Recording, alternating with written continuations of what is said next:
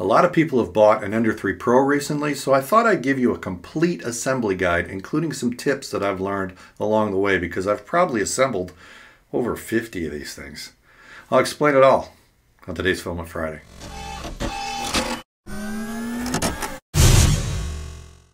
Filament Friday is brought to you by the generous donations of these Patreon supporters.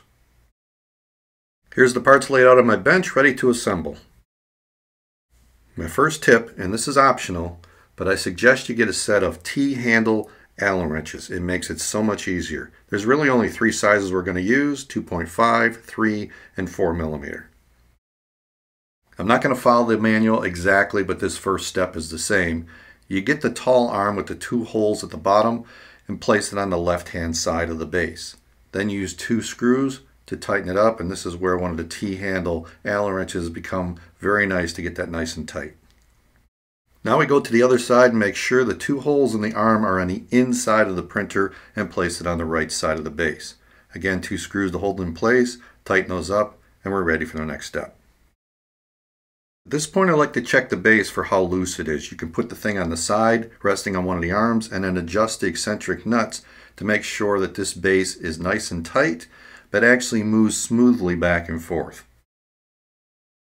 My second optional tip makes it easier to level the bed. Take the screwdriver that's included with the kit and use that as a guide so it just slides between the bottom of the bed and the base and just adjust the nuts until the spring is compressed to that size. It'll make things so much easier in the future. We're going to use the M416 screws to build the carriage. There's a large hole and then two small holes and it fits over the assembly here, the extruder assembly. These screws are a little bit hard to put in and then you have to reach through the other bracket to tighten them up.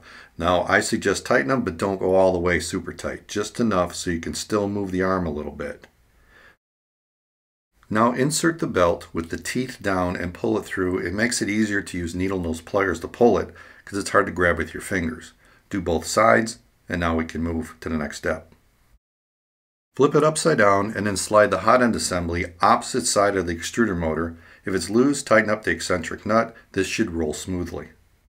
There's two screws that hold the bracket to the other side. Tighten them just snug and then come back and tighten the back one and then you can pivot this thing so it's flush against the edge of the beam and then tighten the second screw. And once it's tight, you should see a flush edge just like this. The belt idler goes next on the opposite side of the bracket. It's got two T-nuts. Slide this on and then tighten the screws, but not all the way, just snug because we're going to adjust this in a minute. Now stick the belt into the groove and slide the hot end over the top of it. And then we can pull the belt through the other side. The needle nose pliers come in handy here once again. Bring it all the way around the idler, flip it over, and put the belt into one of the grooves of the hot end. Make sure the belt goes around the spline tooth wheel and then around the idler, and then install the opposite side of the belt into its groove on the hot end assembly. Now take the nozzle wrench that comes with the printer, slide it between the beam and the idler, and this will put a nice pressure on the belt. So now you can reposition the idler, get it centered to the beam, and tighten the screws. Once you tighten one, it's probably going to twist, so adjust it again, make sure it's nice and even, and then tighten the second one. And if you get this right, that belt should ride right in the middle of the wheel. Now bring the assembly onto the beams and as you push it up and down you should see all wheels turning. If all wheels aren't turning, adjust the eccentric nuts. There's one on the inside of each beam. Adjust until it smoothly moves all six wheels. Now we want to make sure this beam is level. What I like to do is measure the spool holder bracket, which is 15 millimeters, and cut a piece of cardboard out of the box to match it. Then I place the beam on one side with the bracket and then use the cardboard as like a guide. And I get it in position and then hold that bracket where those two screws are, bring the thing all the way up and then tighten those two screws. Now you may have to do this two or three times to get it perfect. But when you do, that cardboard should slide right under the beam perfectly, knowing both sides are the same height.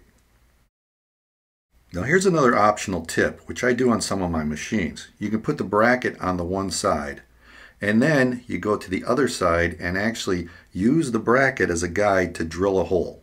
I start the hole, then I lift the beam up and finish the hole. I continue drilling until I'm through the beam. And now I have an access hole, so I can take the Allen wrench, slide it through the bracket, through the beam, and into that screw.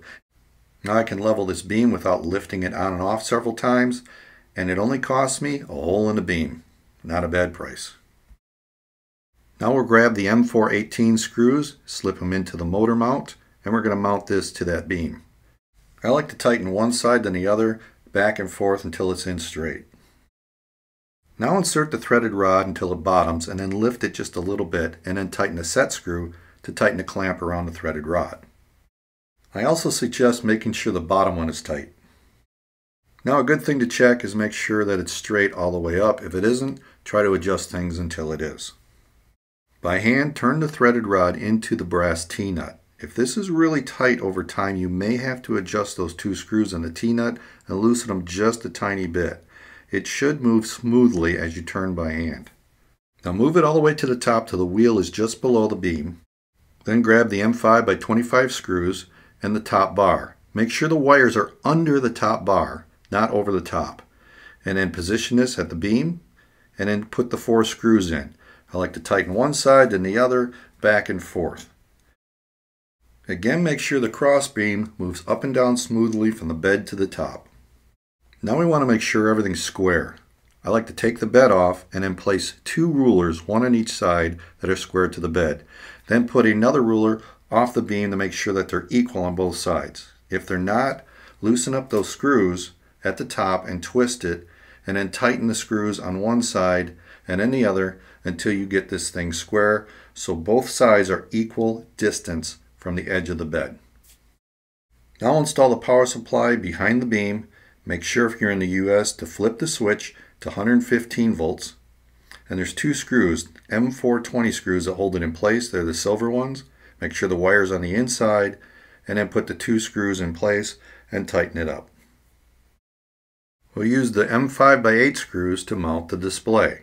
There's just two screws to hold it, but there's an EXP3 connector. Make sure the wire goes into there and it's keyed so it goes in that spot. Now you're ready to install it with the two screws. Tighten one then the other until it's tight. There's two screws and T-nuts that hold the spool bracket in place. I like to put it on one side and then tighten those up. Spool holder arm goes through and then there's a nut that twists to tighten it. It should point to the back of the machine. There's two caps that just press in place to the ends of the arm. Connect the two yellow connectors by going under the arm and then snap these two into place. This is your power. The Z connector goes into the base motor and there's only one way it can go in, it's keyed. Push that in place. And now we'll move up to extruder. There's a connector that you screw into place. I just hand tighten this and then slide in the PTFE tube and then put in a little blue locking clip. Sometimes you have to unscrew this to feed filament, so that's why I don't tighten it with a wrench. Then take the harness and just kind of twist it into the spot where it holds it. There's an E connector, connect that to the extruder connector the same way you did the Z. And then there's also an X connector. Put that into the X motor the same way. The X stop switch is hard to reach, so I use needle nose pliers to put the connector in place. Lower the crossbeam until the nozzle is just touching the bed. Connect the wire to the Z stop switch and then put it in place, but you're probably not going to have room because the switch is going to be pressed all the way and there's no more adjustment. This is where optional tip number four comes in. They put this little knob on here so it positions the switch at the right height, but it never is. So I just cut it off. Now I can slide the switch up and down until it just clicks, and then I'll tighten the two T-nuts. There's tie straps to hold the wires. I just try to strap everything together so it's not going to get pinched or in the way. So two on the main loom, and then I take two tie straps and I group them together and go around the big beam, and that holds the ribbon cable that goes to the LCD. And that should do it. You can plug it in and start using it. The Ender 3 Pro is now fully assembled.